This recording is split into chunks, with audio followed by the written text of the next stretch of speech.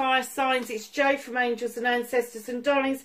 This is your Law of Attraction reading for March. I'm really apologetic about the timing. It's gone, they've gone up late. There's nothing I can do about it. So I'm just getting them up and out of the way now so that um, they're up there for you to see.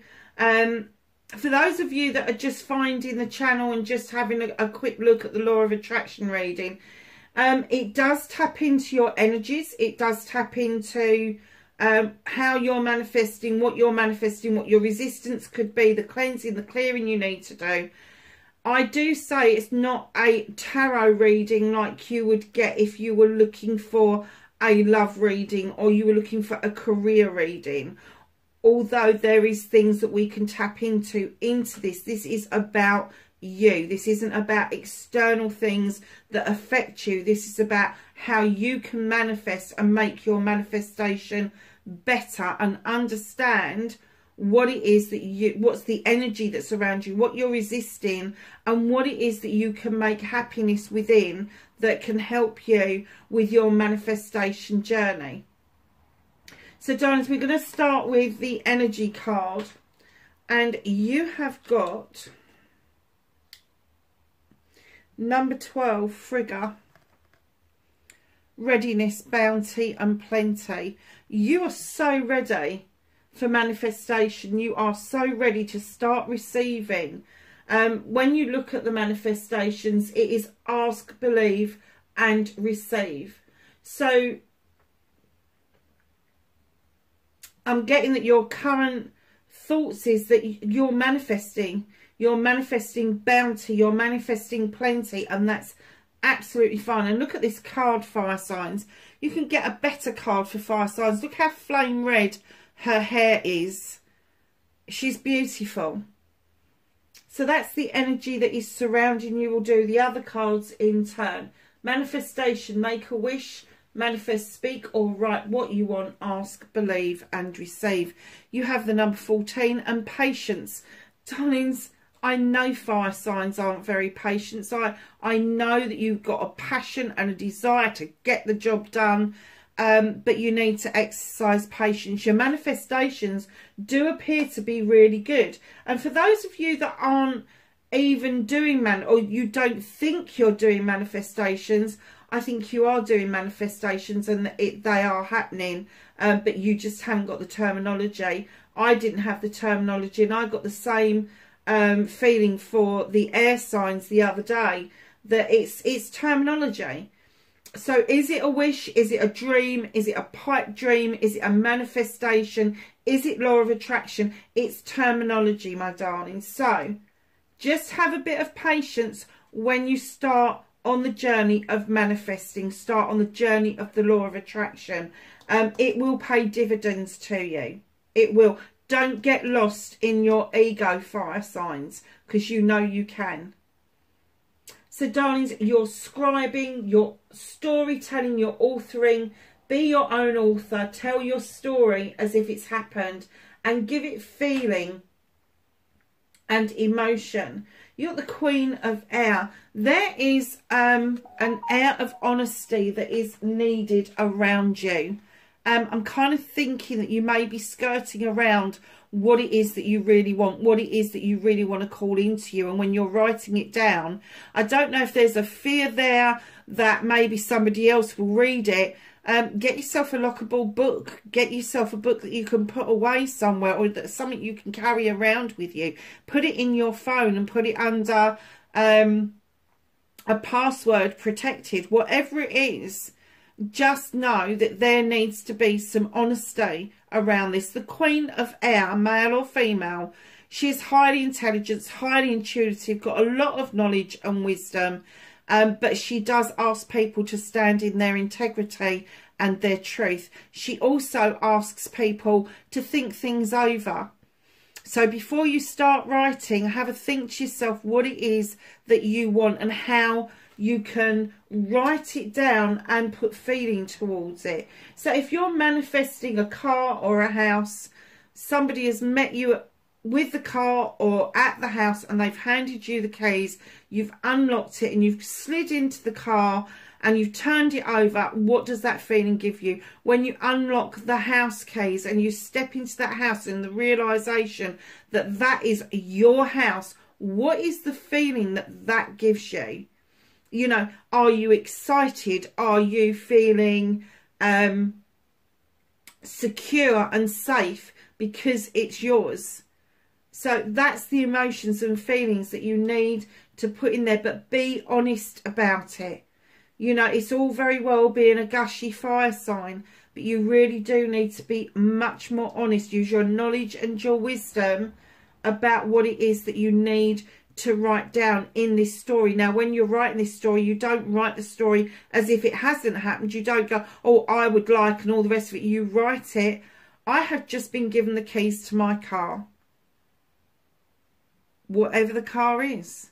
I've just sat in the seat and I've turned it over. And one of the biggest manifestations around cars is when you're in your car and you're driving along, imagine you are driving your dream car.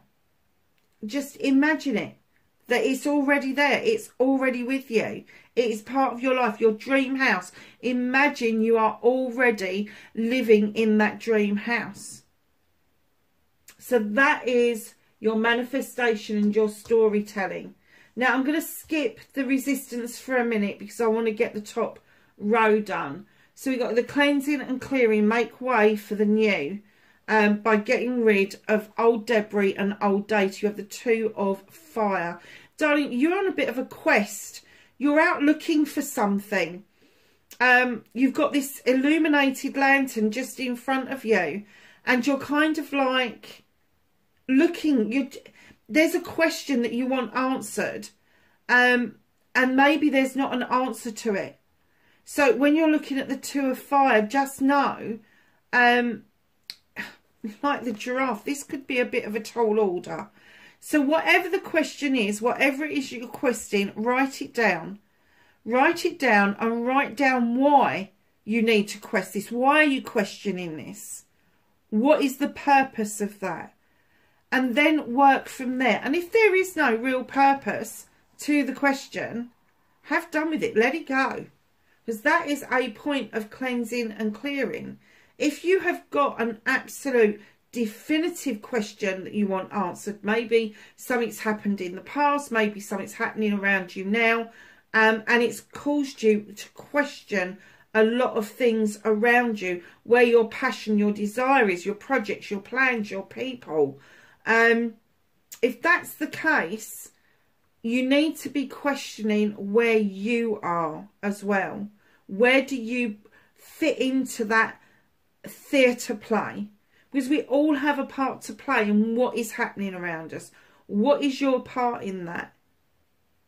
So if you have accepted something from somebody and it's gone a bit tits up, um, just know that you need to question your part in it. What part did you play in it? Did you enable this person? Did they enable you? Just all of those questions. And once you've answered those questions, clear them out of the way. It is not important anymore. If it's something spiritual that you are questing in your cleansing and clearing, the easiest way to do this questing around a spiritual issue is to meditate and you don't have to sit on the floor. I had this conversation with somebody today. You don't have to sit on the floor cross-legged. You do not have to sit and listen to one type of music. All types of music work. Um, if you can just get lost in music, you can meditate. If you can get lost in your thoughts on a walk, you can meditate. If you meditate in the shower in the morning, I do it in the mornings. I find it's easy, it's peaceful, and I find that my shower also helps me cleanse and clear away things that are no longer serving me. I just watch them go down the drain.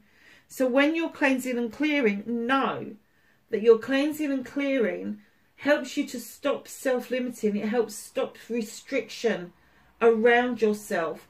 Clean away negativity and doubt. Now, when I say that, we're all human. We're going to have negative thoughts at times. But it's then understanding where that negative thought has come from and why you've had it, and then laying it to rest, and even turning the negative into a positive.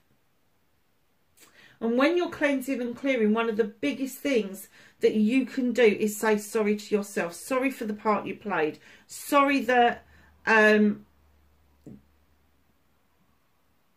that you put yourself in a position where you've got to cleanse and clear something out of the way. But you need to forgive yourself as well. If there has been some issues around that um, cause a ruckus and you are willing, honestly, to open up and own your part to play in it, you then need to forgive yourself for that part you played in it and that will clear things out the way. And you, you know, you only have to do a little bit of cleansing and clearing for new growth to come in. You don't have to do a massive load. You don't have to clear a whole deck to allow new growth. You can see even the smallest of seedlings start to take shape if you just give a little bit of room to grow. It's as simple as that. So, darlings, we're going on to listening to inspiration and how to action them. Believe you can get your dreams. Believe in your dreams. Believe in you. Now take action. You can do this. Now, my lovely fire signs, you have got the Eight of Earth. This is my Master's card. You are a master craftsman. You are a master musician. Whatever it is you do, you are the master of your trade. Um, you've been through the apprenticeship. You've been through the um, craftsman where there was hard work and toil taking place you are now sitting comfortably and reaping the rewards of being the craftsman of your trade. So, how did you get there? So, when they drop inspiration into us, it can be a word, it can be seeing something on the telly. Oh, I'd like to do that. Or you could be reading something in a book. Oh, I wonder if that's possible. Um, whatever it is that you think is a good idea is an inspiration it's a way forward. So how do you action it? Um, for my way of thinking, if you're manifesting and you are getting inspiration, the way to action any idea is firstly, write it down. Don't lose the um, essence of what it is that you just heard, read, saw, whatever gave you that, oh, that could work. Write it down. Your next port of call will be to not only write it down, but then do some research about it. Write down the pigeon steps that you need to do. First of all, go out on the internet, do some research. Are other people doing this? Has other people had this idea? Whereabouts are they with it? And if there isn't anybody, then you need to get down to brass tacks and start thinking to yourself, okay, I need a plan of action plan of action. See, all of this is actioning. Now, for a long, the longest time, I was saying the universe likes fast action. It does. Your fast action is writing that idea down. Then the rest of it can take its sweet merry time. Because I've proved time and time again that if I write the things down straight away and I haven't got time to then look at it, it's okay to go back to it it's okay to go back to it because once you've triggered that by writing it down, the universe knows you're interested in it. And the next time you pick it up and you write it down again and you are writing it into the computer, you are looking at different ways of um, investigating what it is that you've give, had the idea for. Um, the universe likes all of that. It likes to have the positivity and the action and the partnership with you to make this dream, this manifestation happen for you. So inspiration is absolutely key when you're hearing it, seeing it, watching it, whatever it is you're doing, do something about it. Do something about it. Um, intention is also key around that. Is also key. I've been taken back to the two of fire in your cleansing and clearing. I just um I just saw a flash of um, the need for you to use fire to cleanse and clear, not literally. I mean metaphorically. Um, like a forest when a forest burns down and then a few weeks later you see these beautiful seedlings just bursting up through the ashes almost like a phoenix and there's new growth there. That's exactly what we're talking about.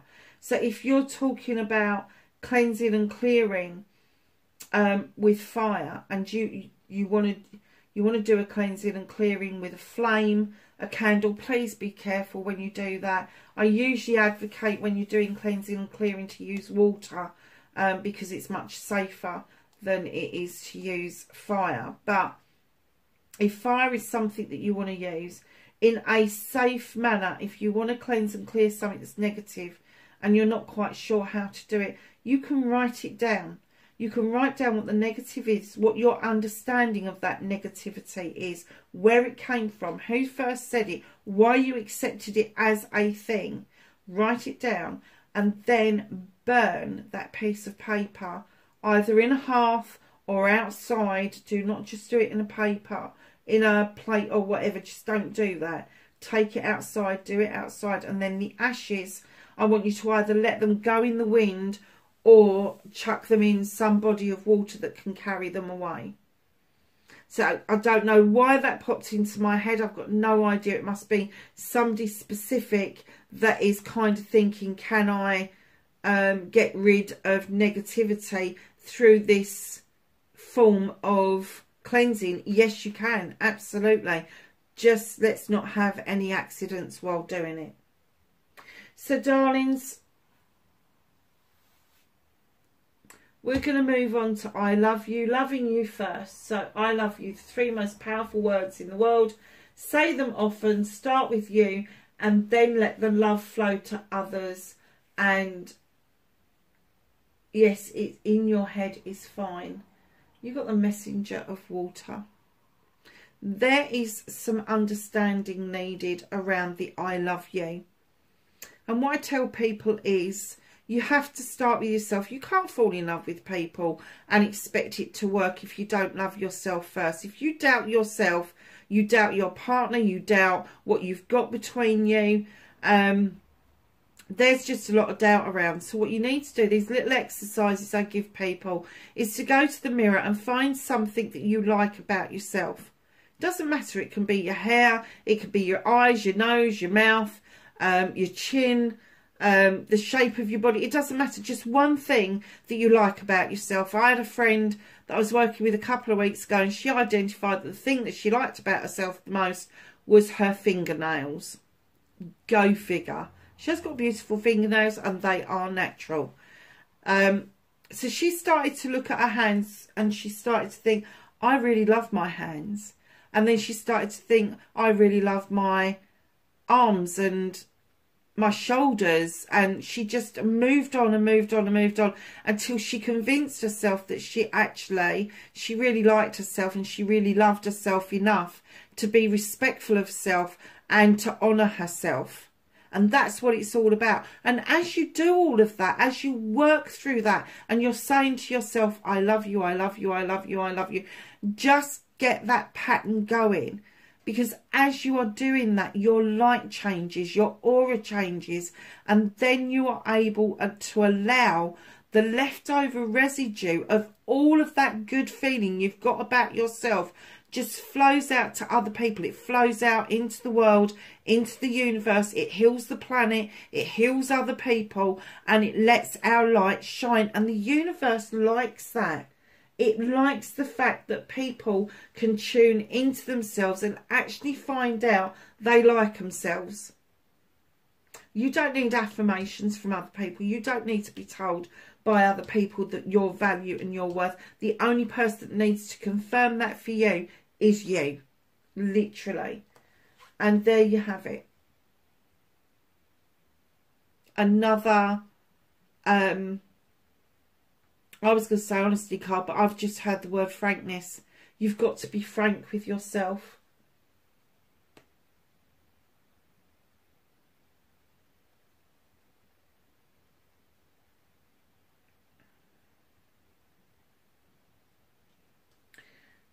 Offer yourself and I'm going to say this, Aries, offer yourself an apology for whatever it is that's dragged you down, ailed you, it doesn't matter. Offer yourself an apology. Because if you do that and you move that room to cleanse and clear just that little bit, this being frank with yourself will grow.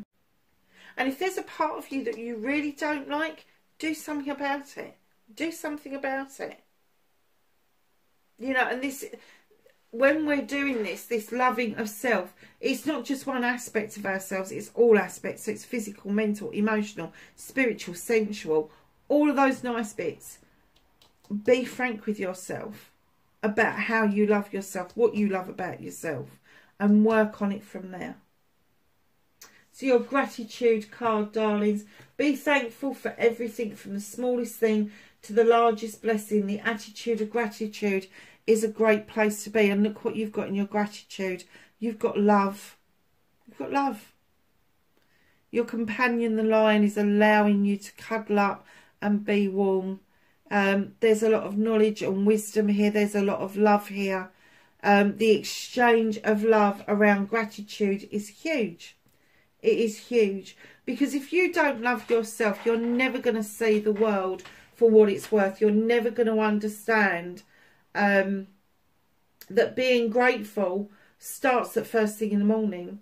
From the moment you open your eyes, be grateful you woke up. Loads of people didn't. People that had plans for today didn't wake up this morning. They didn't. So that's where you start. You start being grateful for that. And, you know, gratitude spills out. If you are grateful for the little things, being grateful for the big things just follows naturally. So when you're going into a shop and you're seeing somebody and they're serving you, think about what it is that they're serving you. What was it you wanted? What was it you needed? And that person has served you. They've served you well. They've taken your money. They've put it in the cash register. Now wish them a, a really good day. Don't be grumpy with them. Don't be oh, well, they're just a store assistant. That's awful. Just be grateful they're there because the option of them not being there is closed shops. It's closed shops. They are in service to other people because they care enough to be in service to other people. So just know that when you're being grateful, it's for everything. Being grateful for everything from the tiniest creature to the biggest building. Doesn't matter. Just get into the throes of being grateful. And let me tell you, the love of self will just start to shine through. It will. And I think this is the frankness that you needed to hear. That perhaps you're not as grateful um, as you could be. Um, perhaps you take things for granted, and we all do. I'm not having a pop at the fireside at all we all take things for granted. Um, it's only when we become aware that we should be grateful. It's only when we start getting things and that we start thinking, hold on a second, somebody's giving me a hand here. It's like when I got my car, I, there was nobody more gobsmacked than me about my car. And every time I open that gate and I see her sitting on the driveway, I am just blown away that she's mine, that I own her. Um, she's one of my biggest manifestations, I have to say. Um, and people know when I'm I'm leaving her in the car parks, I'd rather wrap her up in cotton wool and take her indoors with me. Because I always look back to. If you don't look back at something, if you don't look back at your house, if you don't look back at your car, if you don't look back at the person that you love, are they really what you want? Is it the right decision to have that? I don't know. I don't think so. So a number six card also for me, darling, is something precious. It's something precious, something to hold on to. This is love of self. This is knowing your knowledge and your wisdom about you. So you've got two beautiful cards here. Um, the love card, the gratitude card, and they've almost swapped over. And you need to be frank in order for yourself to be grateful that you are able to love yourself completely. without restriction. So I'm going to do the middle bit at the end. So, affirmation, talk about you and your life and what you want in positive terms. Stop saying but, if, can't, won't and maybes. They cancel your dreams. You have number 20 and the call. You are calling something in or somebody in. You could be being called Now, this could be a spiritual card, or you could be physically being called in by somebody else's manifestation. You could be getting visits from somebody else who is walking through your dreams, who is on your mind constantly. What I'm going to say to you is affirmations is be kind to you. If you don't want this connection, dismiss it, get rid of it, just have done with it, cleanse and clear it out of the way. But if you're calling something or somebody in, know that other people have got the right to say no as well. Affirmation for you, my darlings. You've got the number 20, which breaks down to a 2, which tells me that you would love to be in a partnership. There's, you, you function better in a partnership.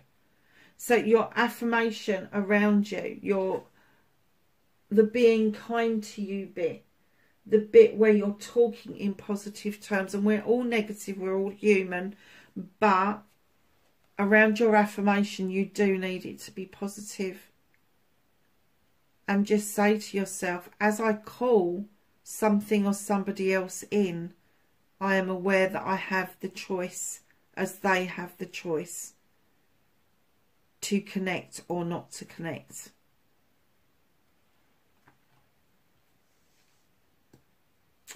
If you're stuck for affirmations, get on the internet. There's thousands of them out there. Have a look. But I do get that this call is big for you. It's almost like you need that confirmation from this other person that you are everything somebody needs, everything somebody wants, Darlings, the only person that needs to confirm that for you is you. That you are being the best that you could possibly be. That you are giving life, the universe, the planet, your absolute all. Mm. Destiny, create the one you want. Hanged man. Perspective. Blessings to look forward to. Something's going to change your mind. Something's going to make you see something that you've been looking at in negative terms for such a long time that you are it's going to, it's going to turn your world upside down. Look at that. It's going to turn your world upside down. There is a destiny here that you've had one way of believing stuff and all of a sudden something's going to come in and it's going to say perspective and it is literally going to turn your world upside down. So we're going to go down the middle. Remember Frigga, readiness, bounty and plenty. That's what you, I'm assuming you are manifesting. And if you're not aware that you are manifesting, that is what you've been asking for. Now, when you're saying bounty and plenty, keep in mind that that doesn't have to be money. It doesn't have to be material goods. It can be spiritual. It can be emotional. It can be mental. So just keep that in mind when you are thinking about what it is that you are manifesting. Now, your resistance, what is blocking your manifesting and your wishes, you have the Weaver. Number 25, Fate, Destiny and Wyrd. Um, I'm kind of getting that you're worried that other people are going to find out about what you're doing. Sodom. Why should you worry about what it is that you're practicing and then worry about what other people are going to think about it? When it comes to fate, I'm a great believer in fate. I think we stumble across things, we come across things, we find things, um, whether they're with us for a small amount of time or a long, long amount of time. Know that fate and destiny go hand in hand. You've got your destiny card there. It's changing. It's changing because your perspective is changing. You may feel a bit weird about how it is that you think about fate and destiny because you may not have had any um, thoughts about it. You may not have had any beliefs about it, but all of a sudden you are kind of like believing in things that maybe other people around you wouldn't actually believe in. So, darling, is your resistance, the weaver, know that your resistance is, is that you feel that you may even feel a bit weird, actually. But fate and destiny has brought you this far. Don't let fate and destiny be your resistance. Don't allow yourself to disbelieve that fate is out there because it is out there. And don't disbelieve that destiny is out there because that is also out there. You know, before we come here, we ask people to do certain things with us, walk through life with us, cross paths with us, do all of those things to make the human condition more interesting as we're walking through this life. I'm getting that that is your resistance. You are just like, what the hell does this all mean? What does it all mean? But your perspective is going to change around this. So happiness within card. Oh, look at this. Bliss. Contentment, satisfaction and security. Darlings, be your own contentment. Be your own satisfaction and be your own security. If you are in love with yourself, if you love yourself enough to respect yourself, if you love yourself enough to give yourself affirmations and work with yourself, then you will get contented. You will see satisfaction in lots of different things. Gratitude will bring the satisfaction on for you. And the security that will offer you is this. If somebody or something comes into your life and you are happy with yourself, you are loving yourself absolutely 100%, you are grateful for everything that comes your way, including life's lessons, if that does not stay with you, if the person does not stay with you, and if the event that's happening does not stay with you, know that nobody can take away your love, your contentment, your compassion, um, what it is you feel for yourself. They can't have that away from you. So know that if you are practicing all of these things, they can never be taken from you. So you will never experience heartbreak again. You'll experience sadness that that person's passed on, but you'll do cleansing and clearing to clear out the debris so you can move on as well. I'm getting that these are the three most important cards in this deck for you. This is your happiness within.